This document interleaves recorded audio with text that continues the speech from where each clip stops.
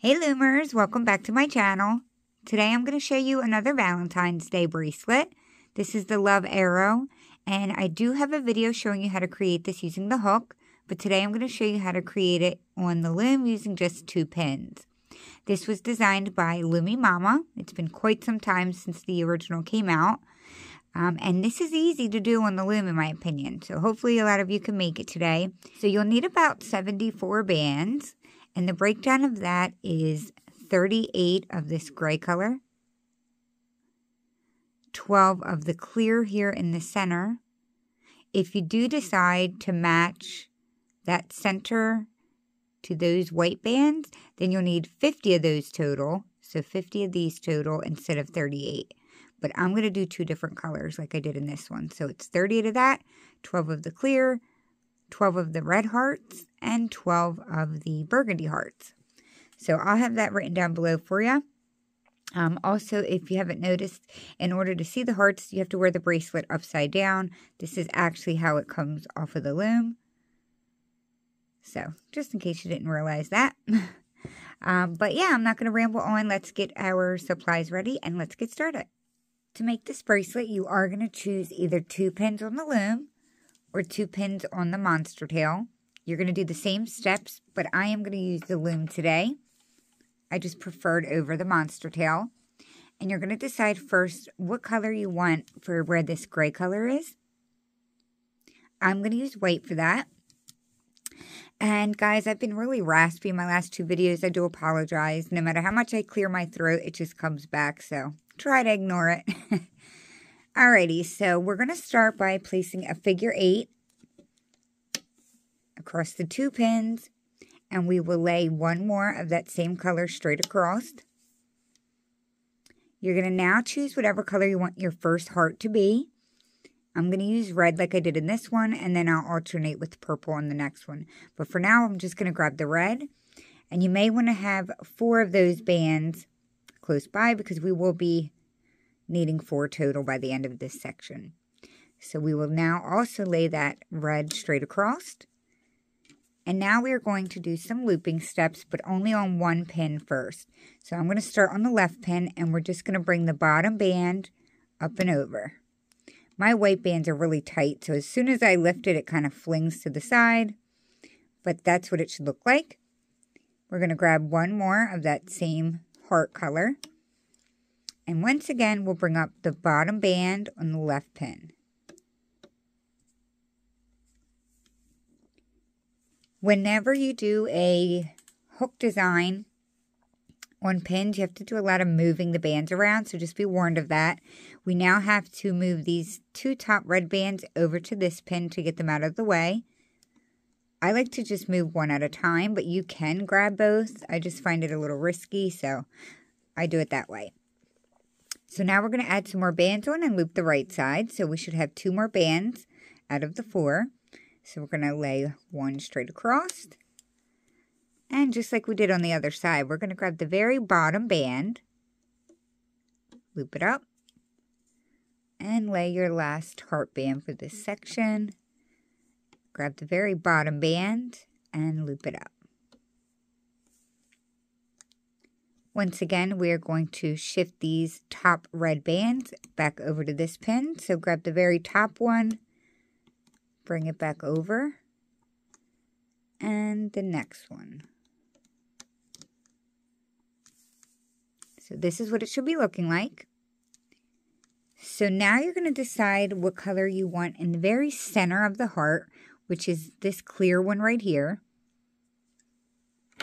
And I showed you on this white one, I used white. So I used the same color as I did there. It's completely up to you what you want to do. I am going to use this clear pink color. And we're going to lay that straight across. Now we need to loop the first, or excuse me, the two bands that are under the band we just laid. So on the right pin, we have these two right here. You're going to bring them up. And on the left pin, same thing. And you could have done that one at a time if you prefer. So now I'm going to go back to my very first color, which is white. Again, it's going to be this group of bands right here.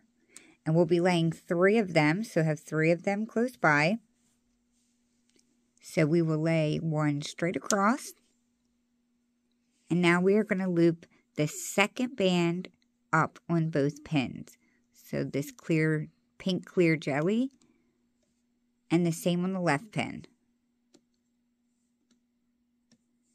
Sometimes the second side that you flip up is a little further out than the right.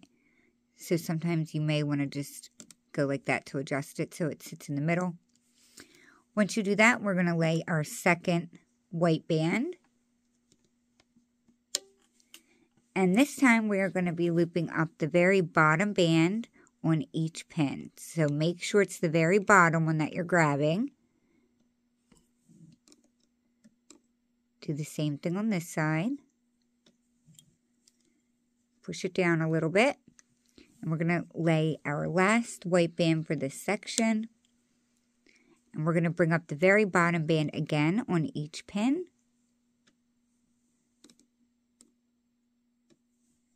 Just push that down in there if those bands are like hanging out loosely because that does happen. So now we're going to choose the next color that you want to use for your hearts. So you can use all of the same color if you want, but I'm going to do like I did here and alternate and go to purple. So have four of those close by because we'll need four per section. Our first one, lay it straight across. And we will be working with just one pin at a time. So it doesn't really matter which side you start on. Since I started with the left before, I'll just continue to do that. We're going to grab the very bottom band and bring it up. And we need to do that again. Grab the very bottom band and bring it up. Now you don't want to grab two at a time and do that because then the bands will be out of order. So you have to do it like I did it. Push that down and we're going to grab our second purple. And by the way, I said we're going to be using four, but it's two per side. Um, but it's four total. All right, so we are now going to grab the very bottom band, bring it up, and now we'll do some shifting around. So we're going to grab the two top purples on the right side. And we're going to move them over here to the left just to get them out of the way. And now we'll start laying some more and work on the right side. So we will lay our purple on. Grab this very bottom band and bring it up. And now grab the bottom band and bring it up. Grab your last purple for this section, lay it on. Bring up the bottom band. So we need to now bring the top two bands on the left side back over to the right. So we are now done adding our heart bands. We will go back to adding that very center clear color, which for me was the clear pink. We will lay that straight across. And we now need to bring up the two bands that sit directly under that pink band. So one and two, and the same on the left side.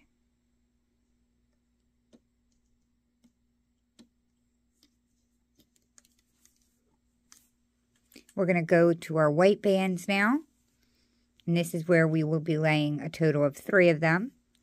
So we'll lay band one. We're going to bring up the bottom, or I'm sorry, excuse me, the second band on each pin. Adjust it if you need to. We're going to lay another white. This time we're going to bring up the very bottom band on each pin. Sorry, when my hand gets too close to the camera, it does blur out. And we're going to lay our last white band. Once again, we will bring up the very bottom band on each side. That is the end of that section, and we are ready to start our next heart. So if you're going to use a third color, pick that now. I'm just going to go back to my red. So I'll grab four of those and have them close by. We're going to do that all over again. So we will lay that. We will work on one side at a time. So we will bring up the very bottom band and then the bottom band again. Lay band two. Bring up the bottom band. We're going to move the reds over to the left. And now we're going to add our right heart band. So we will add the top band. Remember, we have to bring up the very bottom band on the right. You cannot just grab both of these like that because then the bands will not be fishtailed. So grab the bottom one, bring it up, come back, grab the next bottom, and bring it up. This is the last band for this section. And we're going to bring up the very bottom band again. So this is the point where I return the top two bands over to here to start the next section. You technically, and then we would lay this clear band, you technically could lay this band right now and then just bring all four of the bands up. But the reason I don't do that, you can do that once you get comfortable with the pattern, but I like to stick to bringing everything back to its place before starting the next section, just because I feel like it'll be easier for you guys to understand what we're doing and how the pattern is broken down. That's just me. If you want to do it the other way or you're understanding it in your head, then you can certainly go ahead and do that. But now we're going to add that pink clear on again. And we are going to bring up it's technically the second and third band on each pin. And it is the two under that clear pink that we just laid. And we're going to do that on both sides. And if you feel like it's a lot of steps, don't worry. I will tell you exactly where to go to continue watching so you can make the entire bracelet watch, watching my instructions if you need to. So now we're going to grab three of our white bands. We laid our first one. We're going to bring the second band up on each pin. Lay band two. We're going to bring the very bottom band up on each pin. Lay band three and do the same thing. Grab the very bottom band on each pin.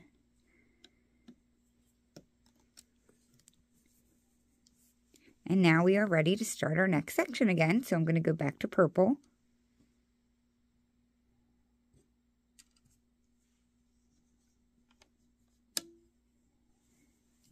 We're going to bring up the very bottom band on the left pin. Go back to the left pin, grab the very bottom band again, and bring it up. Lay your second band. Bring up the bottom band on the left pin. We need to bring these top two purples over to the left to move them out of the way. Going to add our purple band on, and now we're going to loop on the right pin. So we're going to grab the very bottom band, grab the very bottom band again on the right pin. Lay your last purple band for this heart section and bring up the very bottom band on the right. We're going to return the top two back to themselves over here to the right. And this is where we will add our white bands on again. Actually, we need to add our pink clear on first. We will bring up the second and third band on each side, which again is the two bands that sit directly under it. Now we will add our white bands, which is three of them. So add band one. We will bring up the second band on each side. Band 2. We will bring up the very bottom band on each side. And band 3. Same thing, we will bring up the very bottom band on each side. We are now back to the start of our next section so I'm going to do two more hearts without giving uh, verbal instructions. And you guys can follow along. And then at the end of this, I will have a timestamp on where to go exactly back in order to finish making it in case you need to keep watching.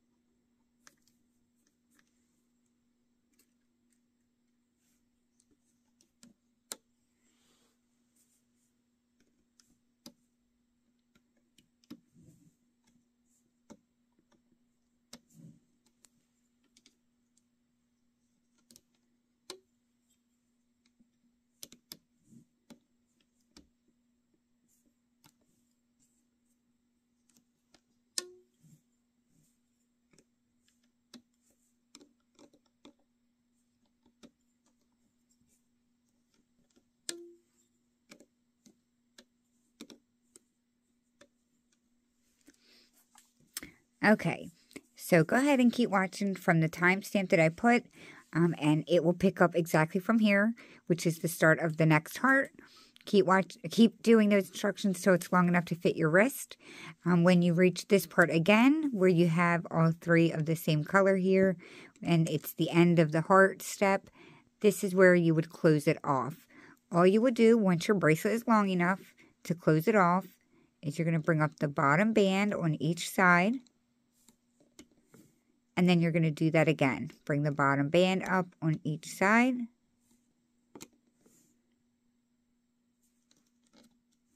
And now we're going to bring both ends together. That is where we will attach our C-clip. I'm just going to pop mine off. And that's it. That is how you create the Love Arrow bracelet using the rainbow loom. Remember, this was originally created by Loomie Mama. It's been quite some time since we've released that. But I really hope that this video was helpful for you guys. I was really happy to get another Valentine's Day bracelet out to you guys. I made a post on YouTube and a subscriber recommended to convert this one. I'm glad I was able to do it for you guys and do it so quickly. So if you make one, find me on Instagram and tag me at Loves to Loom.